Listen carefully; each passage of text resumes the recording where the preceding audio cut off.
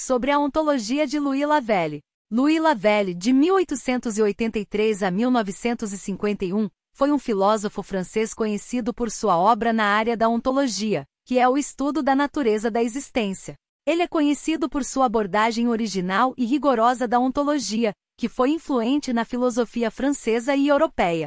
A ontologia de Lavelle está baseada na noção de que a existência é um ato que tem lugar entre o sujeito e o objeto.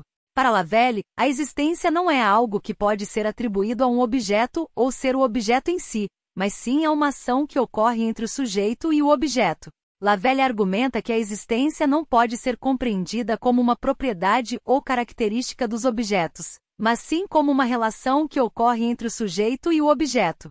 Para ele, a existência é uma realização do sujeito e não uma característica do objeto.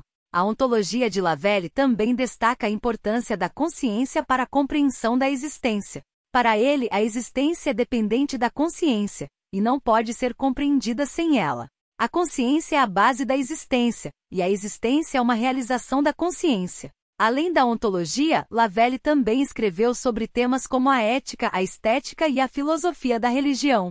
Sua obra é uma contribuição importante para a filosofia, e suas ideias ainda são debatidas e estudadas hoje.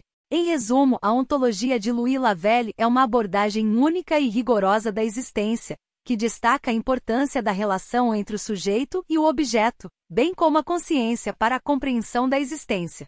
Sua obra é uma contribuição valiosa para a filosofia e ainda é relevante hoje.